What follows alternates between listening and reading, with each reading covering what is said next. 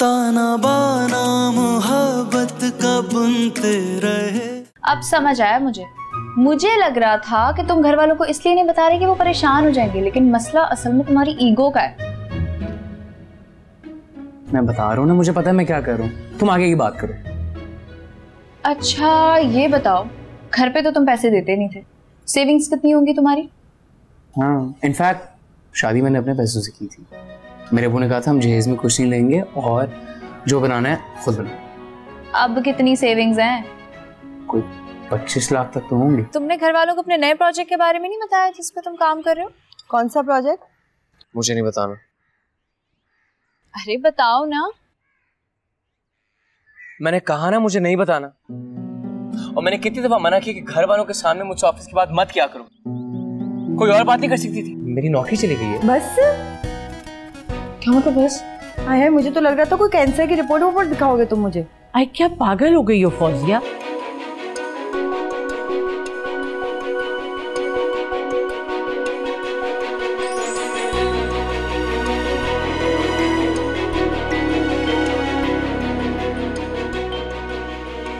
ये क्या तमाशा है स्वयं सॉरी। मुझसे गलती हो गई ये जो इतना बड़ा बैनर मेरी यूनिवर्सिटी के बिल्कुल सामने मेरे नाम का तुम लेके खड़े हो गए ना ये भी कोई सही हरकत नहीं है। सॉरी गाड़ी में बैठ तो जो हम बात कर लेते सोया सोया कहाँ जा रही हो? सोया? मैंने उससे बोल दिया कि मुझे खबर ने घर से बाहर निकाल दिया। यार एक तो तुम भी ना एक के बाद एक मुश्किल खड़ी कर देते हो। ये कहने की क्या ज़रूरत थी? अरे शायद मुझे क्या पता था? पैनिक कितना कर गया था कुछ समझ ही नहीं आई। ऊपर से सोया ने अपनी अम्मी को भी कॉल कर दिया अपनी अम्मी की तरफ़ लेके जा रही है मुझे। और बिल्लू को भी उसने बता दिया है। बिल्लू को?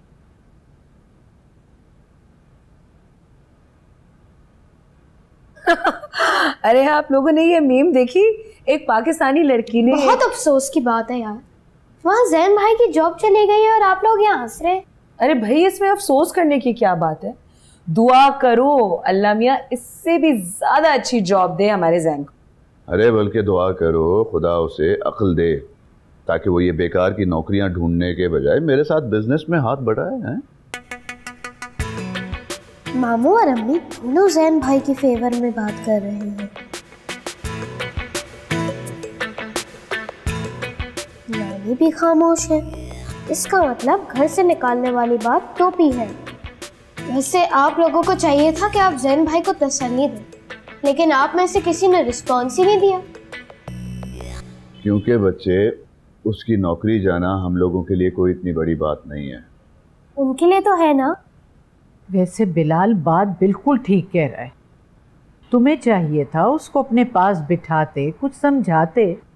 अरे अम्मा चलें ठीक है आता है तो बात कर लेंगे। है भाई? आप लोगों को पता भी है वो कहाँ है? कहाँ है? मुझे क्या पता? मैं तो बस आपसे पूछ रहा हूँ। ऐसे सिचुएशंस में आपको पता होना चाहिए। लोग बेरोजगारी से तंग आकर पता नहीं क्या कुछ कर बैठते हैं। आपको पता होना चाहिए। फ़ोन करें जैन हाँ।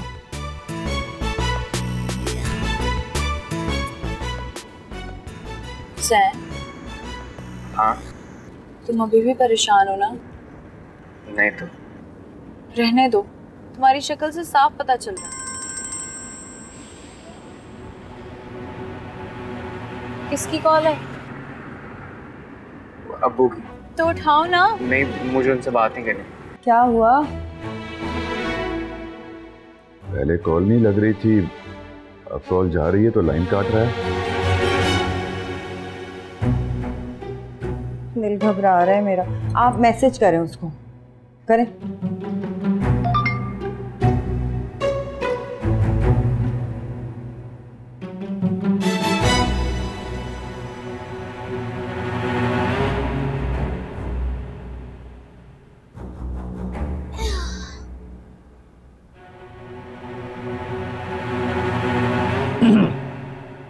अब्बू आप। क्या कर रहे थे? जय भाभी ने इस चीज़ में से चाबियाँ निकालने को कहा था तो वही कर रहा था। किसी को बताया तो नहीं? बिल्कुल नहीं। बताना भी नहीं। क्यों? हुआ क्या? तुम्हारे भाई ने जोया को मनाने के लिए झूठ बोल दिया है कि उसे घर वालों ने घर से निकाल दिया है। ओह मुझे भी यही लग रहा था लेकिन अब क्या होगा? अब वो आएगा तो जोया को बताना पड़ेगा।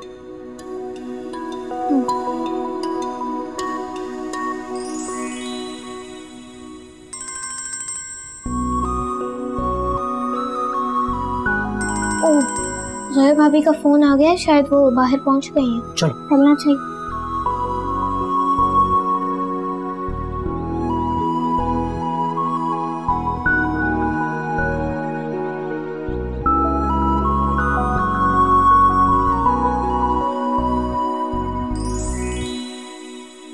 कॉल किया मैंने बिल्लू को आता ही होगा। वैसे एक बात कहूँ उस वक्त मैंने नहीं बोला लेकिन गुस्सा मुझे बहुत आ रहा है। क्यों तुम्हें गुस्सा क्यों आ रहा है? अरे तो और क्या हो? ये कौन सा तरीका है? ऐसा क्या कर दिया था तुमने? सोई तो गए थे ना? उस पे वार्निंग लेटर दिया जा सकता था लेकिन नहीं उन्हें तो बस डायरेक्ट तुम्हें जॉब से निकालना था है ना? ठीक है समझ आता है वो ऑफ़िस वाले हैं, गैर हैं लेकिन तुम्हारी फैमिली ब, ब, ब, बस जो है प्लीज़ गुस्सा मत करो ना प्लीज़ काम डाउन जोया कहाँ जा रही है? जोया? जो, जोया? पापा आप ही कुछ कर दे प्लीज़ बचा ले। बेटा मैं सिर्फ़ दुआ ही कर सकता हूँ। अल्लाह ही तुम्हारी सेटिंग बना सकता है। आयदुल कुर्सी पढ़ ले जैन भाई।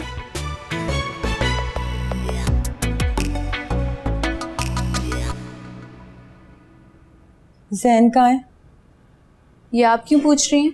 क्या मतलब? अरे वो मेरा फ़ोन नहीं उठा रहा। क्यों उठाएगा फ़ोन आपका? क्या क्या हो गया बेटा? अब्बू मुझे आप लोगों से ये उम्मीद नहीं थी। जैन की नौकरी गई थी कम से कम आप लोग उसे तसल्ली तो देते। मगर जोया जैन कहाँ है? क्या फ़र्क पड़ता है जैन कहाँ है? अरे हुआ क्या है? ये आप पूछ रही हैं। जब आपके बेटे को आपकी सपोर्ट की सबसे ज़्यादा ज़रूरत थी उस वक्त तो आपने उसे घर से निकाल दिया। और ये तक कह दिया कि अपनी बीवी से भी कह देना इस घर में कदम ना रखे। क्या? ये किसने कहा तुमसे? जैन ने?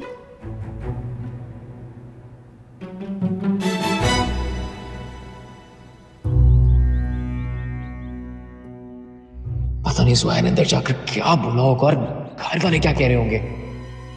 हसैन बाबू, तुम तो गए बेटा तुम तो गए।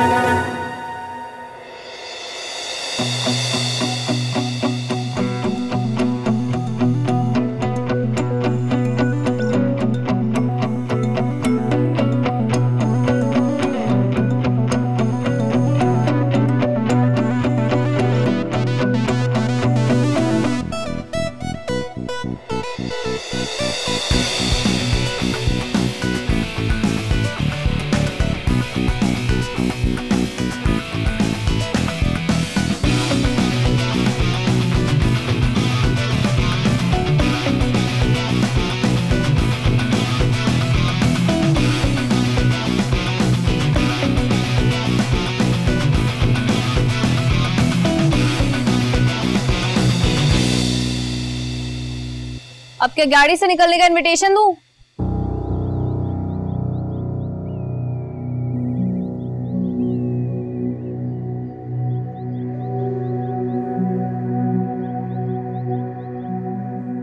शर्म नहीं आती। शर्म आती होती तो ऐसी हरकतें करता ये। ये क्या बचकाना हरकतें हैं जैन? वो अंदर चल के बात करें यहाँ पूरा मोहल्ला देख लेगा है ना जोया? मुझे अब तुमसे कोई बात ही नहीं करनी है। चलो तुम भी अंदर चलो।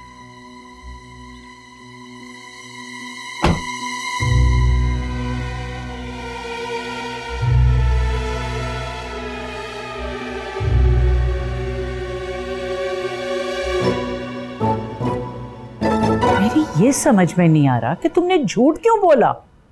दादी वो चुप कर जाओ तुम। वो वो वो क्या वो हाँ? नौकरी जाने का सुनता ही मैंने तुमसे कहा था ना कि बेटा कोई बात नहीं। कहा था कि नहीं कहा था बोलो। हम्म?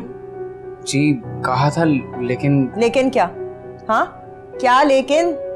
तुम्हें क्या लगता है? हम इतने गए गुजरे हैं कि छोटी छोटी बात पे तुम्हें घर से बाहर निकाल के खड़ा कर देंगे? नहीं मेरा वो मकसद नहीं था। मैं क्या मकसद था तुम्हारा?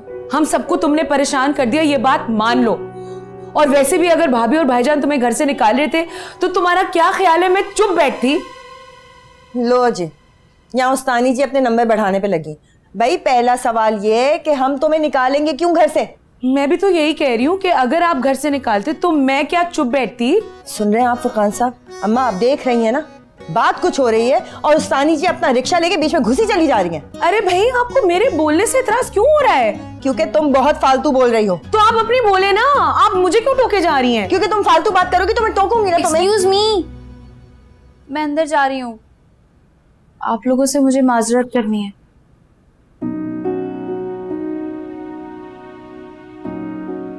एक गलत फहमी की वजह से मैंने आप लोगों से बहुत बदतमीजी की है। प्लीज़ मुझे माफ़ कर दें।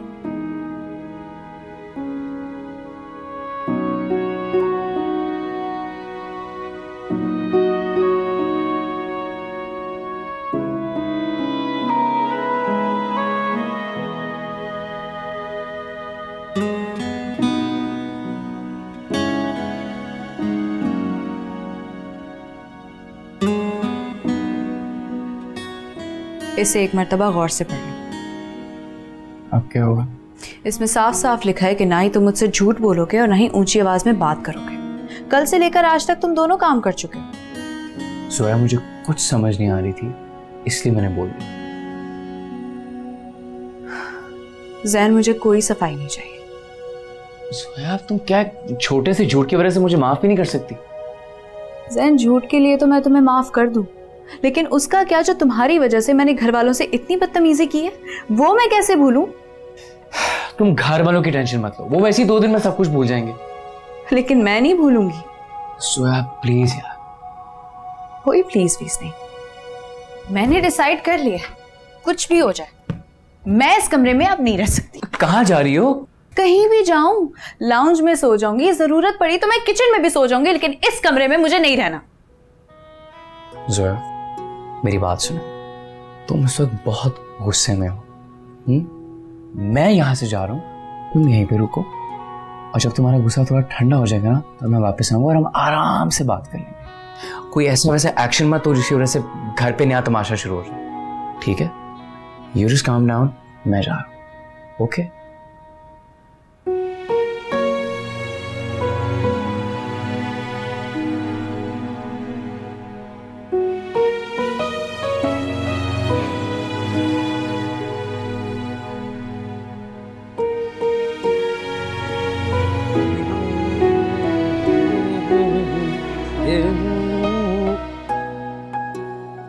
ये लो भतीजे। ये क्या? दुनिया में लोग गम भुलाने के लिए पता नहीं क्या कुछ नहीं पीते लेकिन हम जैसे लोग कॉफ़ी से आगे नहीं बढ़ सकते। इसीलिए तुम्हारे लिए कॉफ़ी बना के लाया। थैंक यू पापा सुना है बड़ा बैड सीन हो गया? हाँ। कोई बात नहीं। फिर से बना लेंगे सेटिंग जोया बहुत गुस्से में है। देखो भतीजे जब जब तुम मेरे बताए हुए मशवरे से हटकर कुछ करते हो तब तब तुम्हारे लिए मसला खड़ा हो जाता। है आप ही के कहने पे तो मैं गया था उसे मनाने। तो बेटा जितना स्क्रिप्ट में लिखा था उतनी ही एक्टिंग करनी थी ना। अपनी तरफ़ से ओवर एक्टिंग करने की क्या ज़रूरत थी? झूठ बोलकर तुमने सारी सेटिंग खराब कर दी। सही कह रहे हैं वैसे आप। अगर सब सच बता दिया तो, तो शायद इतना बड़ा मसला ना होता। चलो कोई बात नहीं। अब क्या सूरत हाल है? जुआ का गुस्सा काम ही नहीं हुआ। कह रही है मैं ऐसा कमरे में नहीं रहेगी। हम्म, अच्छा ये बताओ को खाने में क्या पसंद है? पिज्जा तो अभी लार्ज पिज्जा ऑर्डर करो। अभी? हाँ अभी। पक्की बात है। अबे बात कच्ची हुई या पक्की। बस पिज्जा पक्का होना चाहिए। हाँ करता हूँ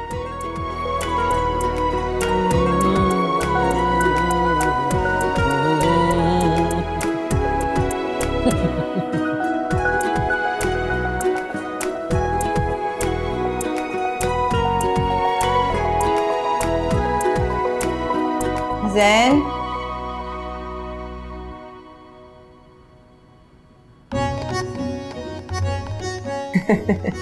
वो नहीं वो जोया असाइनमेंट करती रहती है ना पूरी रात तो भूख लग जाती है इसलिए पिज़्ज़ा ऑर्डर कर दिया मैंने पूछा।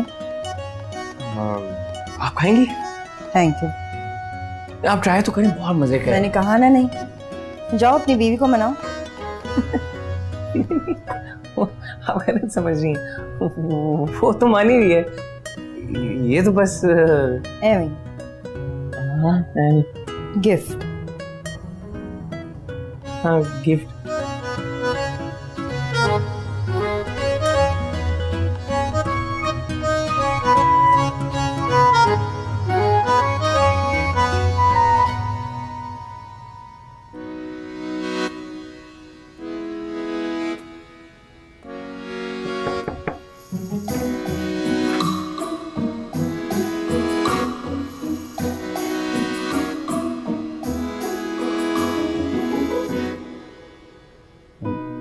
मुझे लगा तुम्हें भूख लगी होगी इसलिए मैंने पिज्जा ऑर्डर किया था।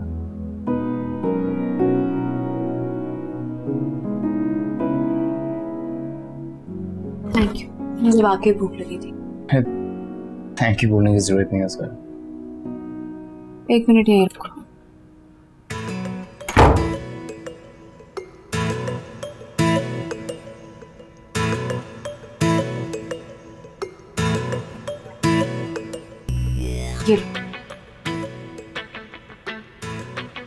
बाहर सोने में परेशानी ना हो इसलिए दे रही हूँ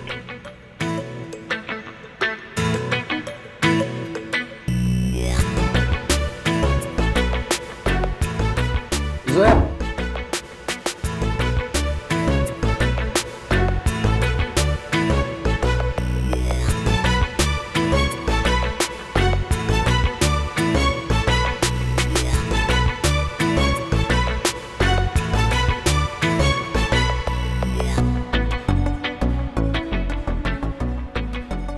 फिर क्या हुआ? फिर क्या? मैंने मशवरा दिया उसने अमल किया अब सेटिंग बन जाएगी। हाँ क्या बात है आपकी। इंसानी नफ्सियात का बड़ा सही पता है आपको। अरे देवी ज़िंदगी नाम ही सेटिंग बनाने का है। जिसको सेटिंग बनाने आ गई समझो उसकी लाइफ बन गई। क्या हुआ? हाथ में तकिया और चादर देख के अंदाज़ा नहीं हो रहा क्या हुआ? क्यों? कमरे से निकाल दी। हम्म। और सोने के लिए मुझे कोई जगह चाहिए? नहीं भाई नहीं। आप मेरे कमरे में नहीं सो सकते। मैं रात भर आपके खराटे नहीं बर्दाश्त कर पाऊँगा। बिल्लू बहुत बुरी बात है। बड़े भाई हैं वो तुम्हारे। पप्पू कोई बात नहीं मैं कहीं और सो जाऊँ। पिज्जा कहाँ है? उसी का तो वट्टा सट्टा किया मेरे से। ये चादर और तकिया देख।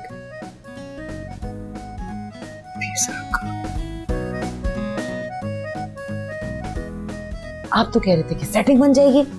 हाँ बन तो जानी चाहिए लेकिन कुछ समझ नहीं आ रहा। कहाँ गड़बड़ हो गई है? सारा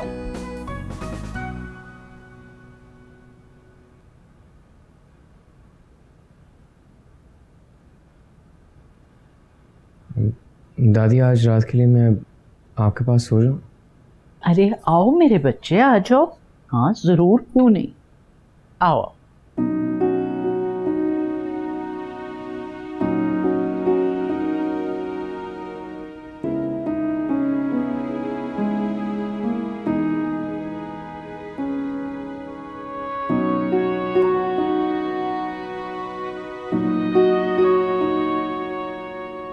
पढ़कर अगर साइन किया तो मेरे मोहब्बत की तोहिन जो तुमने बोला, मुझे मंजूर। मैं चाहता हूँ कि सबसे पहले मैं तुम्हें तुम पागल हो क्या? हाँ। तुम्हारी मोहब्बत में पागल ही तुम जमाने को कौन कौन से गम लाक है? वो मेरा मसला नहीं। मेरा मसला सिर्फ़ एक है कि तुम्हें कभी कोई मसला ना मैंने सोचा शादी में आठ दिन रह गए हैं। क्यों ना रोज तुम्हें एक नया गिफ्ट भेजूं। इसलिए तुम्हारा पहला गिफ्ट ये admission form Zoya me? Thank you Jain मेरी पढ़ाई के शौक को सपोर्ट करने के लिए। ये सपोर्ट पूरी ज़िंदगी भर रहेगा। जो तुम चाहोगे जो तुम कहोगे मैं तुम्हें सपोर्ट करूँगा। मुझे लगा तुम्हें भूख लगी होगी इसलिए भाई पिज्जा ऑर्डर किया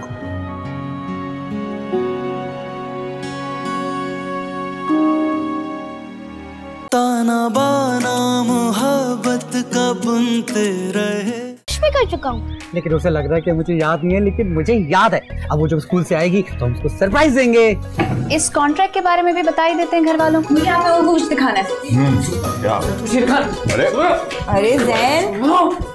तो यार क्या हो रहा है? नहीं नहीं आराम से। हो गया? ताना बाना मोहब्बत का बुनते रहे।